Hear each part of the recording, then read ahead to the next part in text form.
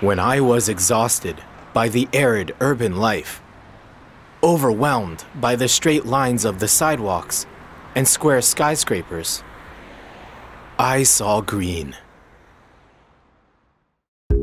Passing by the swaying lake, sailing deep and thick, I follow the breath of nature, letting myself slowly breathe along the curves.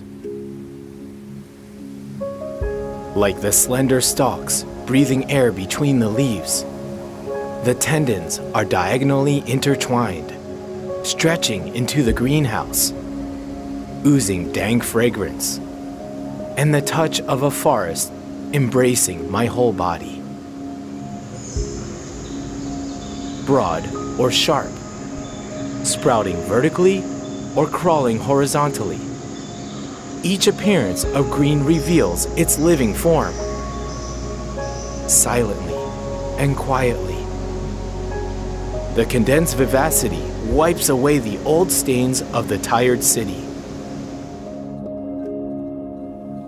The things smaller than my fingers, living in the garden with the seasons, invite things smaller than themselves to embrace the things with their fragrances.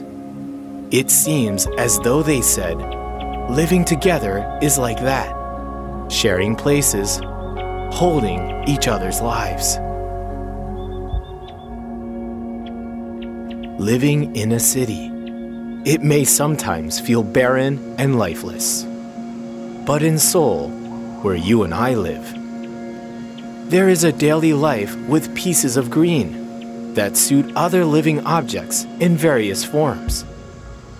So we can live, healing our linear wounds with curves, in the harmony between city and nature, human and plants.